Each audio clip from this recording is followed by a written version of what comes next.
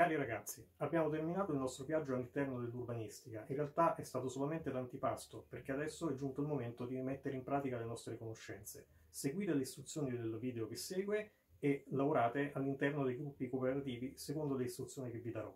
Buon lavoro!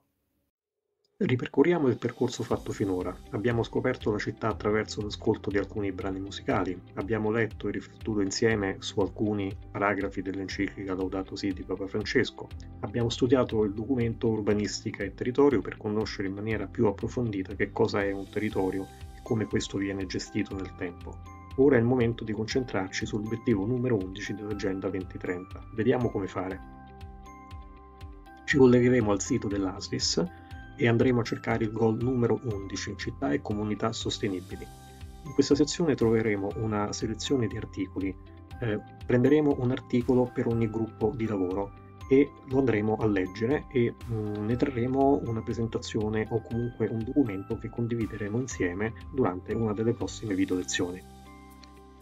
Questa è la sezione del sito che ci interessa, asvis.it slash goal numero 11.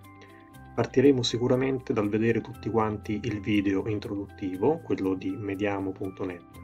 A seguire ogni gruppo di lavoro sceglierà uno di questi articoli e facendo le opportune ricerche anche in termini di approfondimento a partire da quello che gli articoli ci proporranno, dagli argomenti che gli articoli ci proporranno, ci proporranno, andremo a realizzare una presentazione o comunque un documento che condivideremo in occasione prossime, di una delle prossime video lezioni.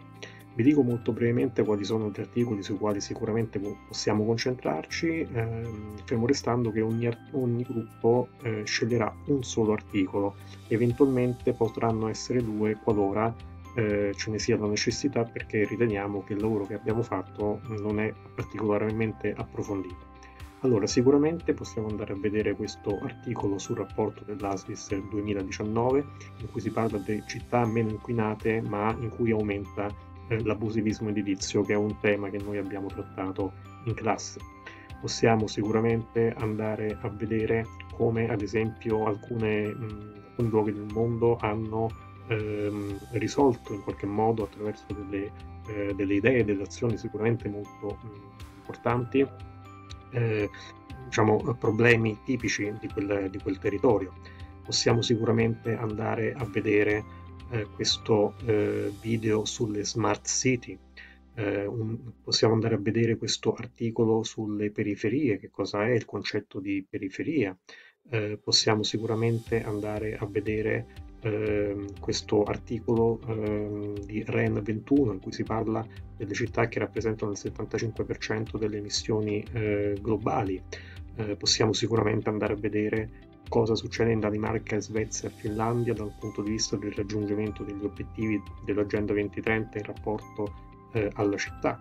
Possiamo vedere ad esempio eh, il rapporto tra città zero emissioni e clima Ecco, ci sono moltissimi eh, um, articoli, come vedete, eh, da cui possiamo prendere spunto. Ecco, mm, io ve ne ho indicati solamente alcuni, voi siete ovviamente liberi di indicarne eventualmente degli altri. Quelli di cui io vi ho, parta- eh, vi ho parlato sono sicuramente molto interessanti, ce ne sono altri, ad esempio sulla lotta al cambiamento climatico eh, e sulle città, oppure sul fenomeno dell'overtourism, cioè di come gestire l'impatto di un turismo quando questo soffoca le città, pensiamo ad esempio a Venezia. Ecco, c'è veramente una vastissima scelta. Ecco, da ognuno, dall'analisi di ognuno di questi eh, articoli, o meglio, uno per ogni gruppo, massimo due, possibilmente in relazione tra di loro, se sono due articoli, eh, se scegliamo all'interno del gruppo di analizzare due articoli, potremmo anche fare un'operazione di questo genere. Se all'interno del gruppo siamo quattro, eh, ogni coppia potrebbe prendere un articolo, in modo tale che all'interno del gruppo abbiamo due articoli diversi su cui ci siamo eh, impegnati nella, diciamo, nell'analisi. Ovviamente i due articoli eh, dovranno essere mh, nel modo migliore possibile in relazione tra di loro. Ecco, questo credo che possa essere un ottimo modo di procedere da questo punto di vista.